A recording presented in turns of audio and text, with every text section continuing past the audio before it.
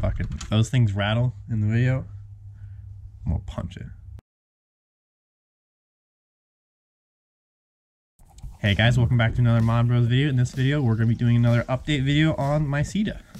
Uh, we did an original review of the Ceda once I got it, and I told in that video that I was gonna modify it and make it better to use for the games that we play in, and so this is that video. For starters, this Ceda, in my opinion, is great. I love it. Uh, I don't really know where to start though, because how much there is to it. Open it up. I guess, alright. So one thing that I really love about the, the Ceda is that once you remove the pins, you can easily change out the springs. I love quick change spring options. That's why I'm a big fan of the Retaliator and stuff. And now I'm also a big fan of the Ceda. I don't really see the Ceda, the takedown pits for like traveling because whilst you can do that and then I just keep track of the spring, usually I just carry it as a rifle and such. Uh, we'll start with this back part. Uh, I haven't had any issues with the stock moving around because I mostly just keep it fully collapsed. So I haven't really done anything to that. Uh, safety's still there just because I think it's a nifty feature and whatnot. The only real change that I've had to do to the back is I modified it to take the larger springs because it really only took stock retaliator springs, but now I can take a full 62 Hillman or 25 Newton uh, BT27 probably those sort of style of long retaliator size springs. Additionally there you guys can see my homemade catch because it is running homemade internals that I like doing in retaliators because they're really great. So I have a homemade catch there. It's just made of a stock, the stock catch with a um, little metal sheet to create the new catch ramp. That's good. Uh, this the catch spring on the Ceda is real strong, so I may want to work on the trigger a little bit because it's a little bit of a strong trigger pull in order to actually get to fire. I could sand it, you know, change the angle of attack on the trigger or reduce the catch spring. But so this front receiver is where you have a majority of the changes. I can take this and put like a different upper on and I could probably get sort of standard performance. But this is where I'm going to see the biggest amount of changes. For one, change the breech, plunger tube, dart gate, barrel, all of it. I even added some grip tape to the Ceda pump grip because I I too I it wasn't it wasn't terrible I wasn't having any issues but I do just like the feel of it with the additional grip tape on there and that feels nice. And this is just black hockey grip tape that makes it uber comfy to use and whatnot. The barrel is a brass barrel uh let me see if I can show you. I have a Merlin at the end a brass Merlin barrel. It's a little, it's kind of long and it could probably be improved upon, but I'm getting pretty straight shots out of it, so I'm fairly proud of it. Shout out to Chris for the design between the Merlin and whatnot. So this is my plunger tube. It is a 1.5 inch metal sink drain.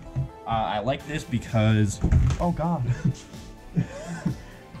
Let's commit suicide. Uh, I like this because in the stock Ceda plunger tube, you get about 57 cc's of air, whereas in this one, I have 82 uh, usable cc's of air. And then you can also see here my homemade plunger rod running a skirt seal, homemade catch, and nylon and stuff. It's just made of a bunch of stuff I get from Ace Hardware. And, you know, it's just whatever. I don't know how good the air seal is because I can't really plug the front uh, because there's an air leak where I have the Merlin connected but that's fine. And then the homemade breech slash bolt sled is here. This is just the way I've been doing it, one inch PVC, little bits of acrylic for the pump arms to connect to. They screw in really nicely, and so that's good. I also have a full length, ooh, yeah, you guys can see it well off. It's a full length quarter dart uh, brass breech, so I can chamber either full length or half length with no issues. It's really feeds really well.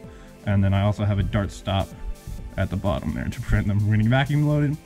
So yeah, I'm getting, it's one of my, one of, honestly, one of my smoothest brass breeches for feeding.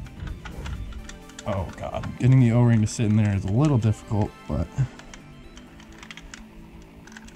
Oh, there you go. All right. Uh, so it's a Ceda with more plunger volume, a better spring. I'm currently getting about 200 FPS with full length darts. We can't really chrono half lengths currently, but I'm getting 200 FPS out of the full length 62 Hillman.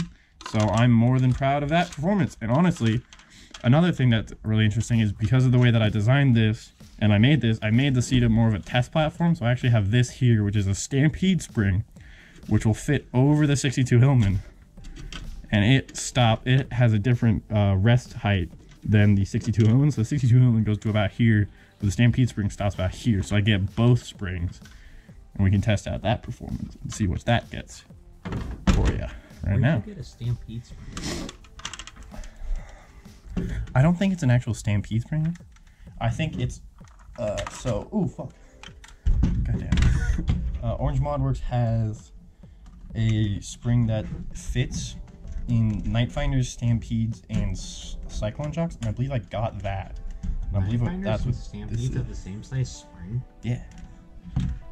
Uh, Orange Modworks is a big fan of just putting putting the springs that they already have into other things. Mm-hmm. So if they can, they're gonna do it. Get that shit out of here. God, I'm trying to get this. It's a little bit difficult to get it all put back together because of the fact that the plunger tube does not click into the original slots where the where the old plunger tube sits. But once you get everything lined up,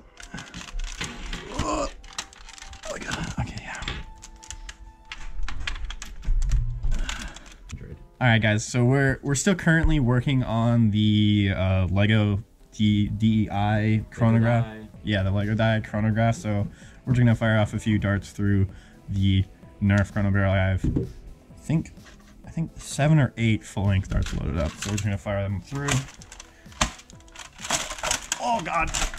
Shoot them at the pillow so we don't shatter the darts. yes, sir. Oh God. 231. Hell yeah. Now we're talking 231. This is with the double springs. Stop shaking. 257. 257. God damn. What? What's up? 242. yeah, 242. 237. Problem. I can't tell if I. Oh, yeah, I do. Oh, it fell out. What the fuck? There we go. that is one interesting thing. The Ceda mag release has been giving me some problems with actually like keeping the mag in the blaster sometimes. 226. 226. Do you have one left? Yeah. 210. Oh, I have one more. Rounding out with seven darts. 240. 240. That was a low of 210 a high of 257. Yep. Uh, fairly proud of that. I mean, like, it's. I don't think it's as hard to prime as your 25 kg. Oh, that's Exes. nearly impossible. It's 18 or 20 is all you need in that. Like, at least I can do this. Like, you can't even get even For a the little X, bit. for the X Zeus, I'm having to use both hands and flip back. This I can prime with one arm, and like, sure, it probably won't be super enjoyable for like a long game, but it's more than good enough to get those high numbers. And since it's got the Oh, Can't let the dark didn't shatter. hmm, interesting. what broke? Nothing. Slam fired for some reason. Can it see the slam fire? No, it shouldn't. Shouldn't have, but it did. I guess the uh, double spring is not the best. Uh, but yeah, so I could work on the catch a little bit more, and then I could probably run double spring. But most likely, I'll just stick to the one and settle for 200. Although, two 250 was nice.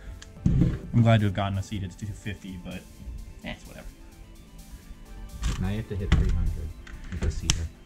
300 out of a Ceda? Or Springer? 300 of a retaliator Based. platform. Yeah. Because the seat is a retaliator platform. Yeah. There's nothing outstanding. Uh, I don't know how possible that is. I don't even know if I've seen someone do that. Well, then you need to be. I've heard two.